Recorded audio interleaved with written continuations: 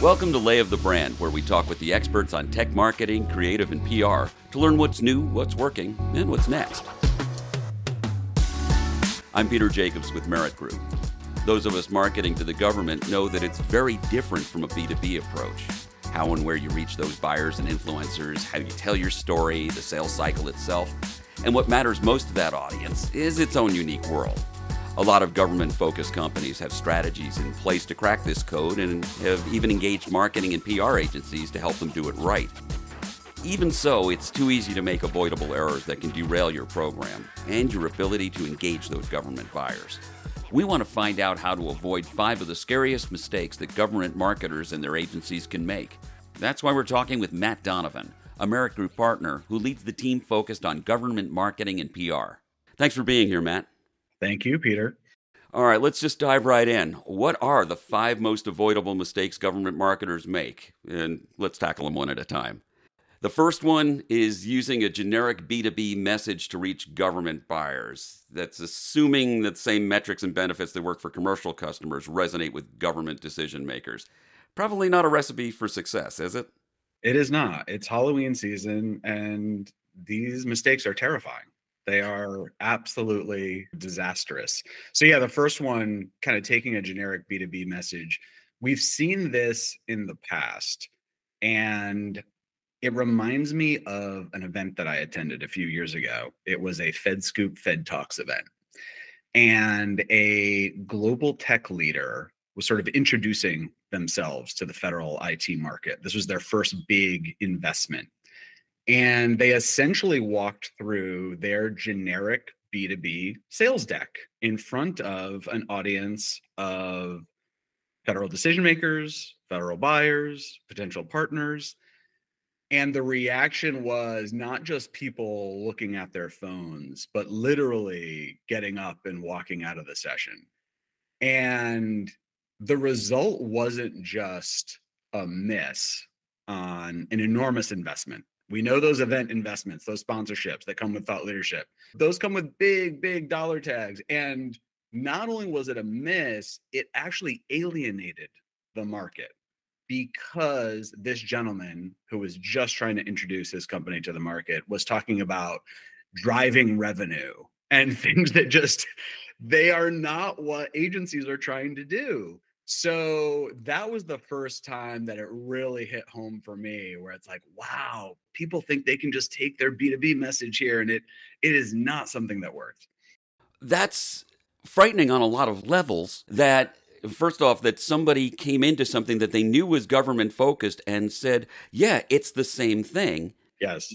But also, you think about the the long tail of that that now, when anybody who was in that room thinks of that company, they'll think those people don't know me. Totally. It's not just, oh, I'm not sure what they do. I'm not sure they can help me in this market. It's they don't get it. It's right. a mm. negative brand perception right out of the gate. So those are the stakes that we're really talking about. And there is kind of a sense that, well, people will be able to figure out our value if we just explain what it is we do. Right how does a company, how do you advise a company that wants to federalize its message? How do you get them to change their perspective? Well, you and me have talked about this for years. And I know we both talk about good marketing requires empathy, which is the ability to put yourself in the shoes of who you're talking to. And a shocking amount of marketing does not include empathy. It is shouting from the mountaintops about how amazing your company is and what your product can do. And I really think great B2B messaging, federalizing messaging starts with, you know, understanding the customer challenge. What are they dealing with? What are their pain points? What are they trying to accomplish? How are they being measured day to day? How does what you can give to them align to their agency's strategic priorities and goals? If you can show you understand that context and you understand what they're trying to do, that's the foundation of federal messaging and quite honestly any vertical messaging but especially in b2g you have to have that knowledge of you know the customer pain point and what you can deliver for them yeah when you think about it it's not just hey this is how government agencies do things, you know, accomplish their jobs differently than commercial companies. It's how they buy things. Yeah. And if you don't understand that cycle and who's involved and what the acquisition process is, it doesn't matter what a whiz bang thing you have. It won't make a difference because you're not going to get their attention. You're not going to get them to see that you really do understand them. Absolutely. It occurred to me just a little while ago that part of the problem may be a mixed message from the government side where they say, hey, you know, we really want this commercial uh, innovation happening here inside our agencies. But that's different from being pitched in a B2B way. Yeah. And, and a lot of times, you know, a lot of these buyers and agencies don't know what they don't know, which is why education is so important it's like they want to modernize and they know they need to you know embrace digital tools but it is on industry to talk about how these things can be implemented realistically within the context of the mission.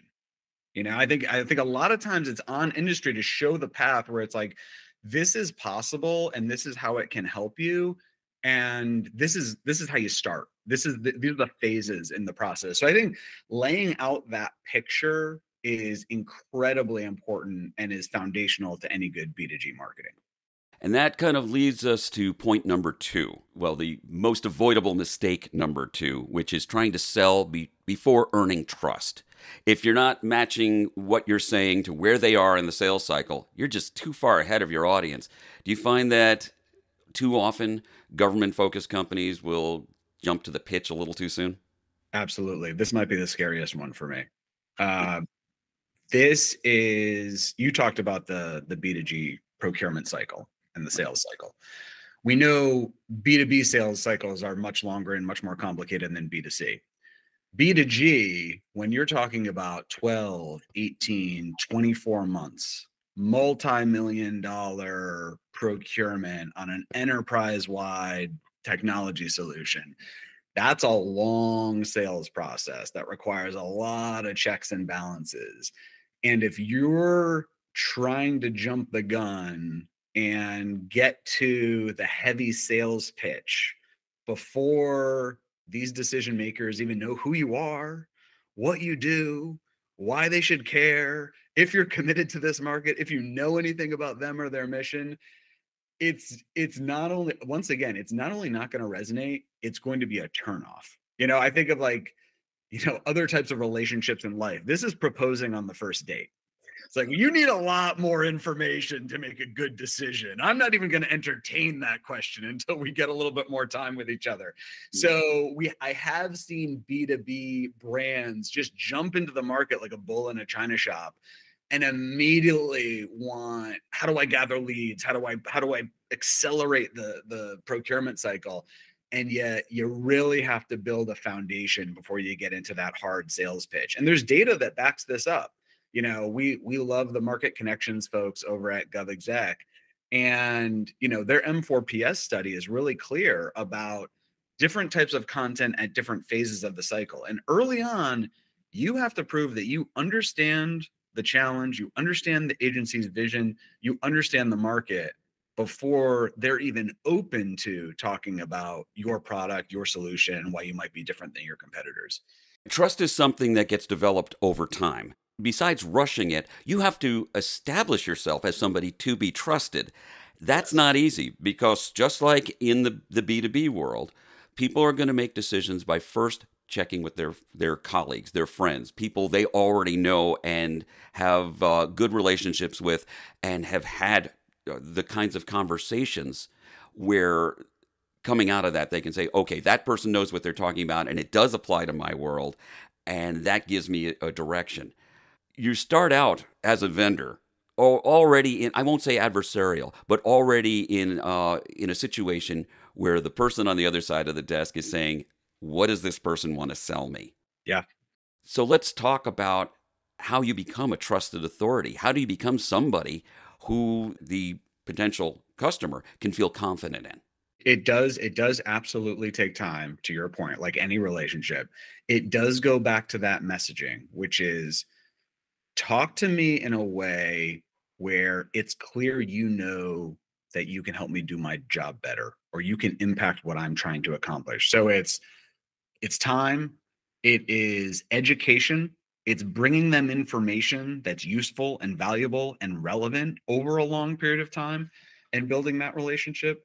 This reminds me of another example where we were working with a major 5G telecom player and they were really standing up a campaign for DoD. They were targeting DoD decision makers. We were doing a lot of the marketing strategy. We were working with a B2B firm that was doing a lot of like the social. Mm. This B2B firm had had a lot of success DMing decision makers on the B2B side over platforms like Twitter and LinkedIn.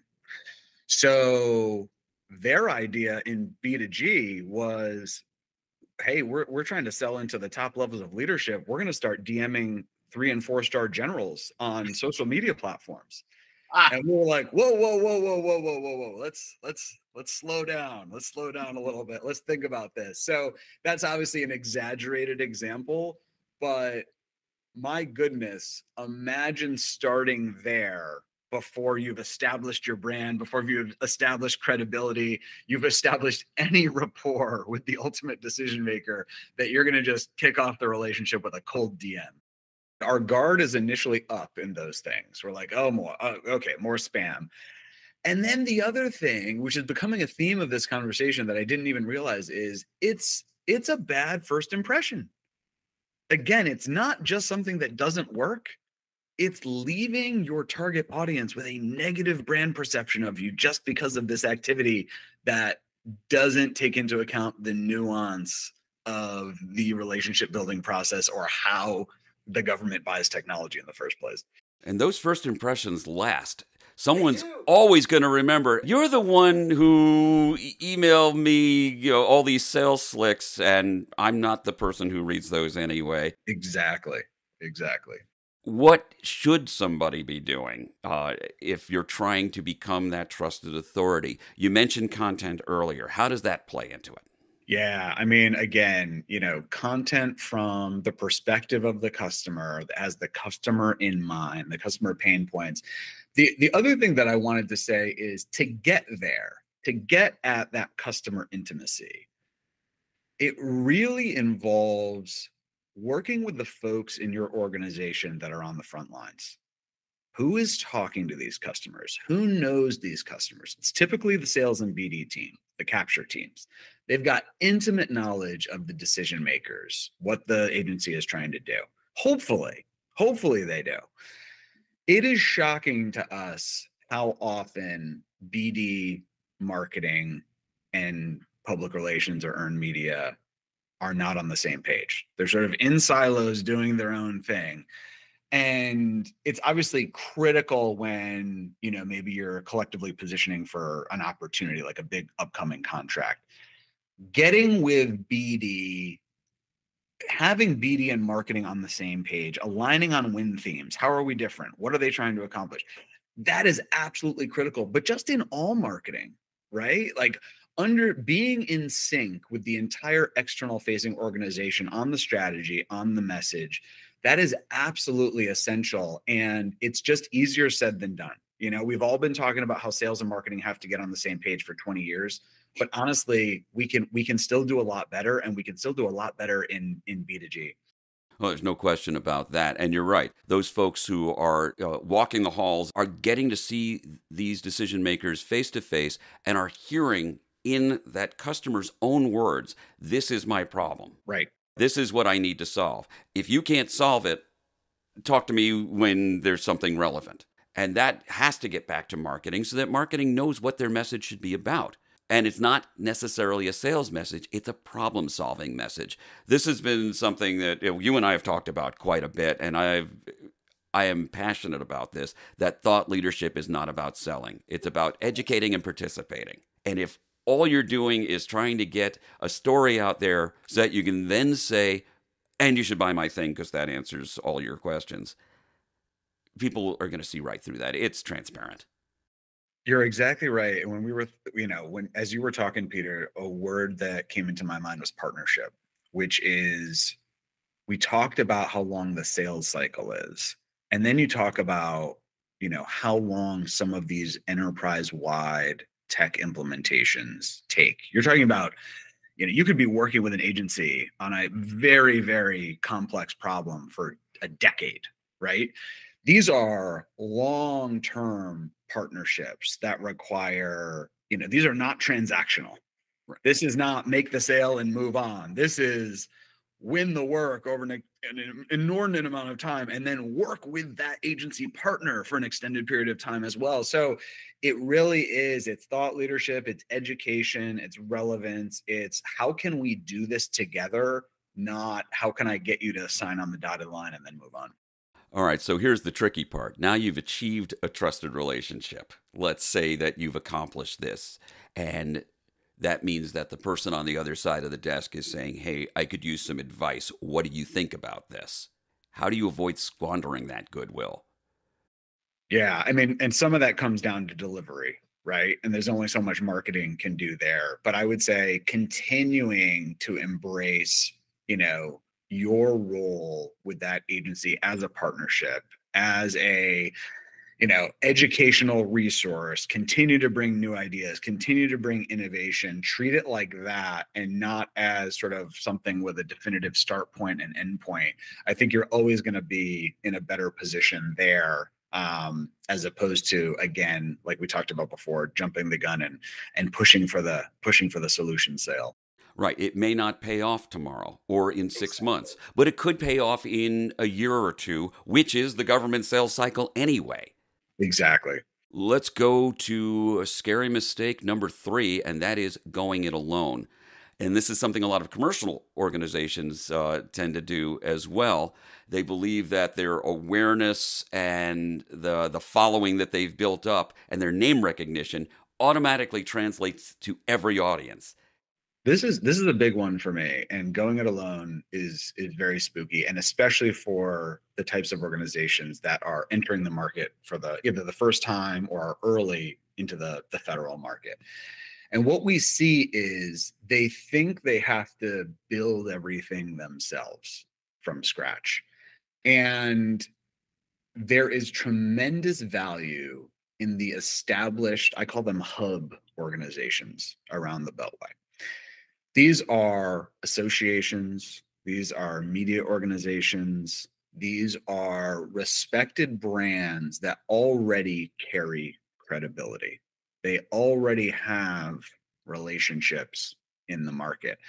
And these emerging brands, rather than standing up a B2G marketing effort all on their own, building relationships with these organizations is sort of a shortcut to credibility and it's also a shortcut to reaching the audience you want to reach.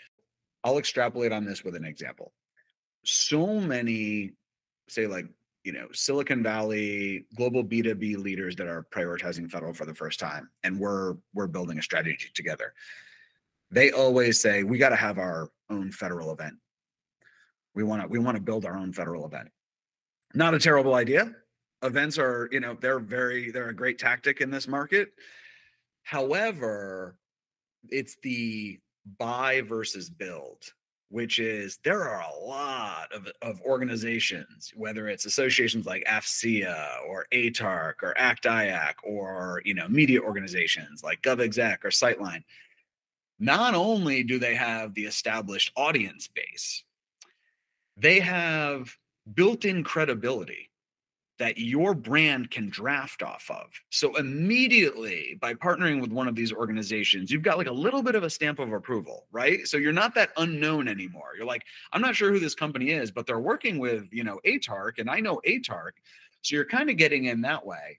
And then the other thing is they have relationships and they can bring actual government leaders and speakers to the table in a way that a vendor can't so all of a sudden, instead of, you know, you trying to get, you know, a panel discussion going off the ground, you can lean on some of these organizations that already have those relationships and you can get high level speakers at your event. So it's one very specific example, but I think it's an example that shows the power of these hub organizations and these partners. And the other thing is it's more cost effective. You know, you are buying access to these relationships and the brands that you get from some of these organizations, but it's a lot more efficient than trying to do it yourself and trying to jump over all of these hurdles and solve these things that other organizations have already solved for you. So we are big, big proponents of look out, look across the beltway, look at the organizations that already have these things in place and build relationships with them rather than trying to build everything on your own. Well, we've seen uh, a lot of B2B focused companies try to do exactly what you were talking about. Uh, use their name recognition and say, well, now we're going to do a federal thing, and yeah. people are going to come to our event because it's us and everybody knows us. But they don't yeah. necessarily know that you can solve a government focused problem because of some of the other things we talked about already. Have you found that even longtime B2G providers do this same thing, make this same error?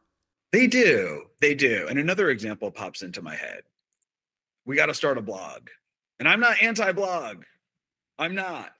But if you're going to spend all of this time creating thought leadership on your website, nine times out of 10, it makes a whole lot more sense to put that thought leadership on a platform that already has the audience that you're trying to drive to your website. You know, pay pay a media partner to get it out there uh, you know, rather than putting so much effort and promotion and social around trying to drive people back to a place they don't go organically.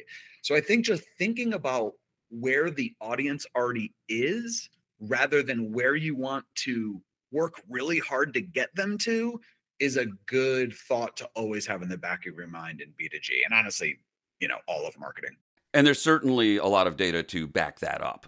Yes this goes back to our friends at Market Connections who have produced the the you know the federal media study um, for so long. But you know, look at where these decision makers are actually already consuming information.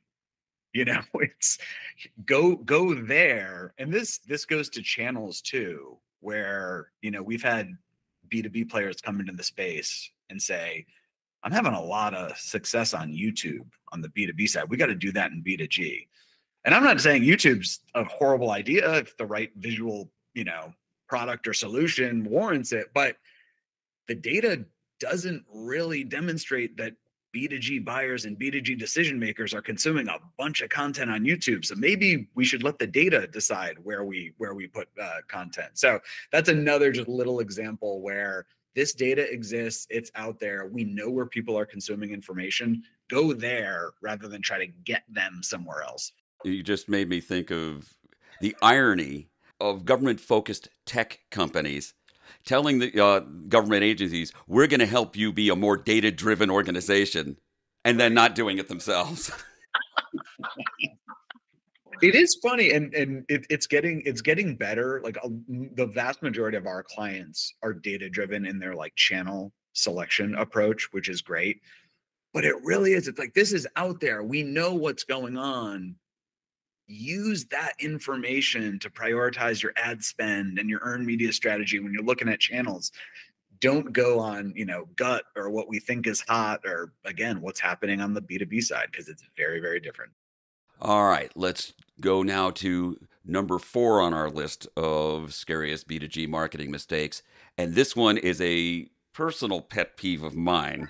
Assuming stock visuals and government sounding language will help tell the story.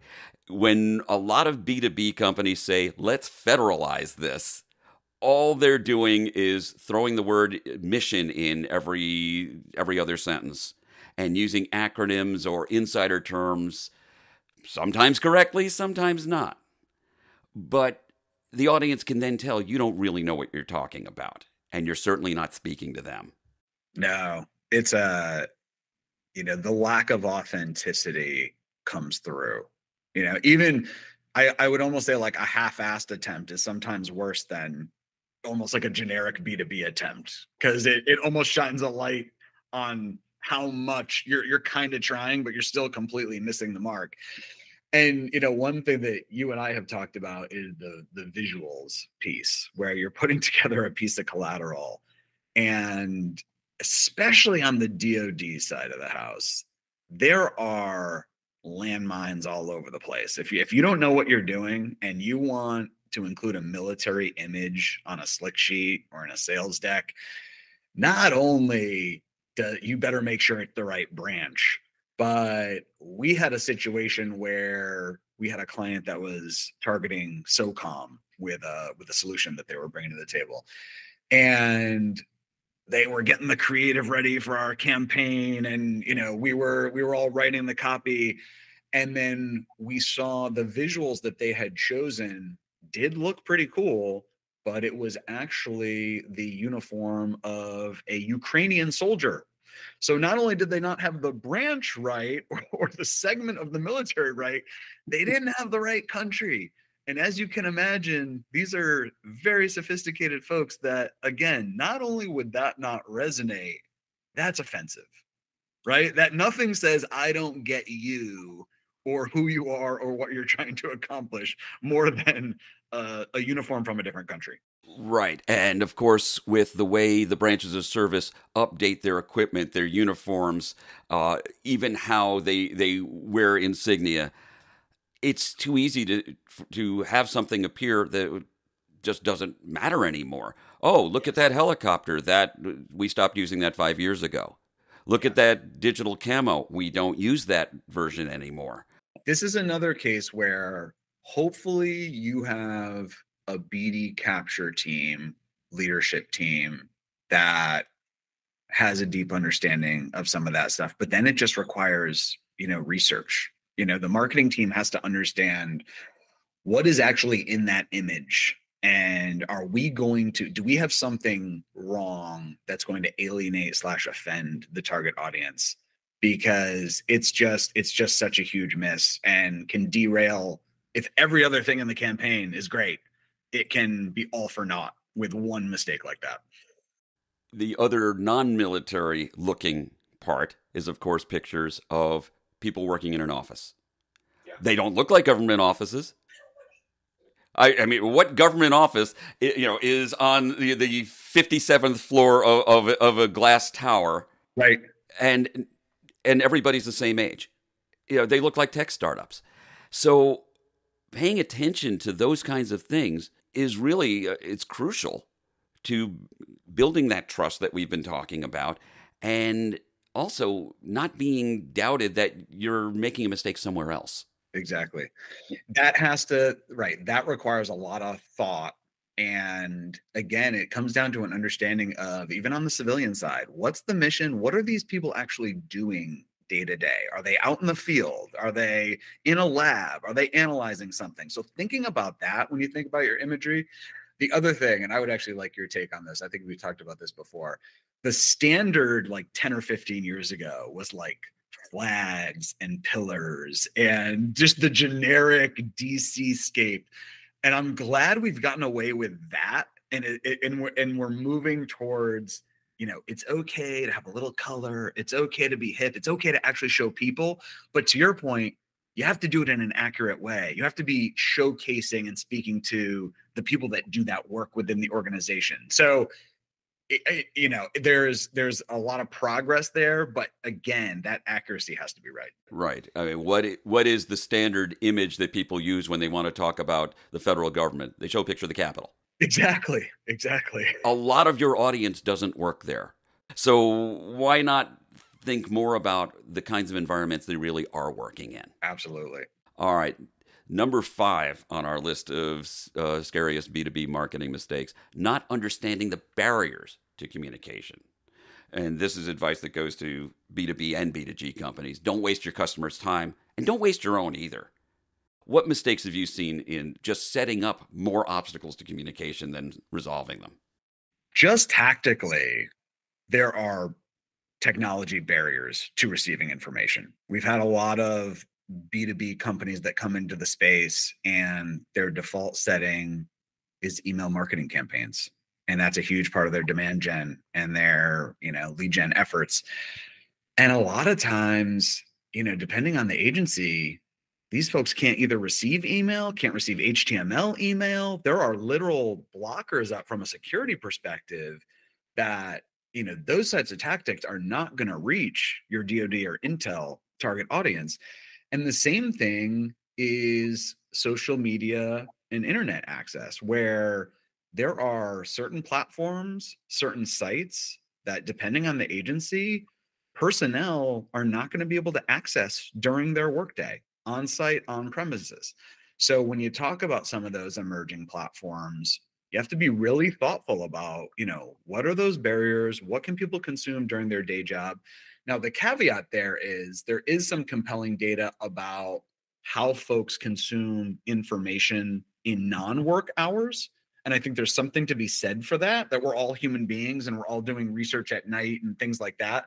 But overall, if there are major barriers to sites, platforms, digital ways of communicating that don't reach your target audience during eight to six, maybe there's probably a better a better platform to pursue um, than than you know some of those. So it, we you have to work with somebody that understands those gaps, and you have to have that customer knowledge about where those barriers are. So you're saying don't do your product release on TikTok if you're trying to reach uh, someone who works in a SCIF. Just throwing that out there. So I, I'm curious now that people are back in the office, especially in the in the government has that changed? Were you able to reach people better because they were working from home or remotely during the pandemic? Or is it the same thing because of the restrictions on what channels you're allowed to access using a, a government supplied piece of equipment? And what about bring your own device? Does that change up the, the calculation? Right. I don't I, I don't know that it's completely changed, but I think it's a matter of degree. Like I would say peak pandemic, you were getting really record engagement numbers across digital channels, especially across an audience that maybe some of the barriers that we talked about before just weren't there because the vast majority of folks were not physically on site on their agency premises. I think right now we've sort of evolved where we're sort of at like that 60 to 70% back to normal, where the old rule book still applies. But to your point, with the amount of you know work from home is more prevalent and then to the point where people are consuming information off hours you know i think it's that it's that mix where don't ignore some of these emerging channels that were showing progress before the pandemic and are continuing to show progress but i don't think it can be the meat and potatoes of your strategy when you're trying to reach especially like the dod and intel side of the house. You still need to focus on those tried and true physical events, you know, security conscious tactics that um, can really get in front of those decision makers. Right. Now, of course, our friend Mark Amtower would remind everybody that LinkedIn, as opposed to, say, a Facebook or something yes. that's more personally oriented, yes, would be a better avenue. But no question that that those old tried and true ways are tried and true for a reason. They are. Yeah, and I like Mark's point about LinkedIn because there's the people are already going there for professional reasons, right? So the they think about that platform and are open to conversations on that platform that are far different than when they're scrolling Instagram. So, you know, little nuances like that, but again, you know, let let the data be your guide and uh, you know, evolve as that data kind of evolves. And don't DM the 3 star.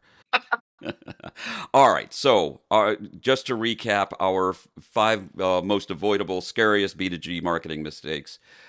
Number one, using a generic B2B message to reach government buyers. Number two, trying to sell before earning trust.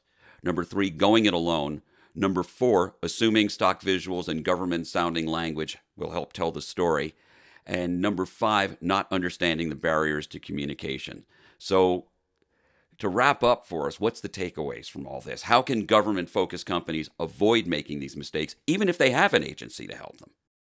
It actually reminds me of something that Alan Rubin mentioned at the Gain Show. Alan leads public sector marketing for Granicus, a company that does a lot of customer experience work for the federal government. And he had a quote that he put up, and I hope I don't butcher it, but it's something like doing a little bit of great marketing is a lot better than doing a lot of mediocre marketing. And I think truer words have never been spoken, especially in the B2G market when resources are so limited. And that really spoke to me in terms of optimization and budget. So letting the data be your guide, doubling down on what's working, and really right sizing that approach going into 2024. Excellent. I will let that be the last word. I've been talking with Matt Donovan of Merritt Group. Matt, thanks so much for joining us. This has been a great conversation. Thank you, Peter. Stay safe out there. and thank you all for joining us. Lay of the Brand is brought to you by Merritt Group, an integrated strategic communications firm that blends the best of PR, marketing, and creative to help our clients tell their stories and build business.